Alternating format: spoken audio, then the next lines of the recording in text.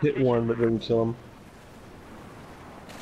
It won't let me mark any of these guys for some reason. Oh, dude, fuck off.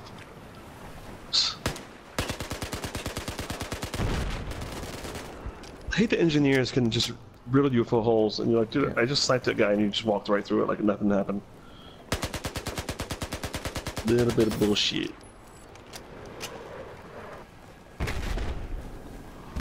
I got revenge for you though. Thank you, sir.